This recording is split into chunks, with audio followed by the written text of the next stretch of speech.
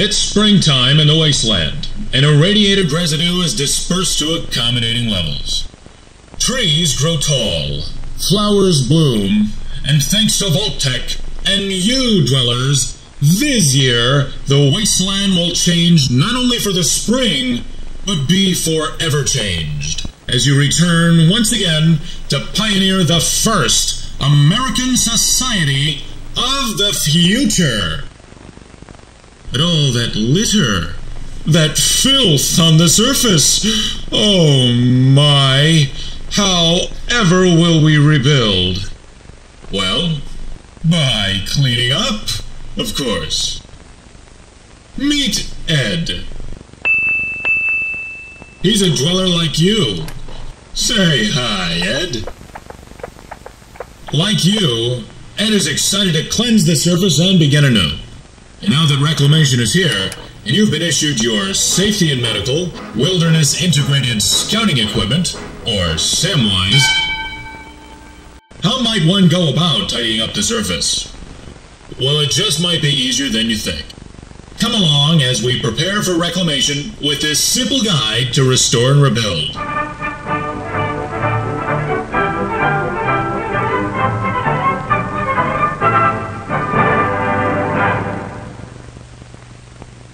Things may be cozy comfy down in the vaults, but up above, be on the lookout.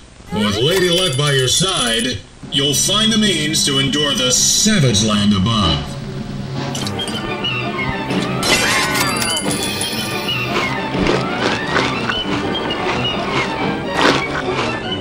But remember, some salvageables may appear brand new, when in reality they carry a deadly poison, invisible phantom.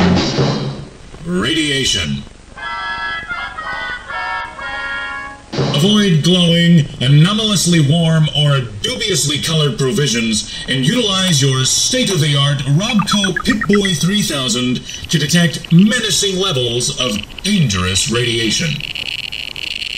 Now that you've identified a piece of clutter within your settling radius, utilize the wasteland grade litter reassignment bag found in your Samwise kit to collect the litter and relocate it to a position that no longer threatens the prosperity of your good neighbors.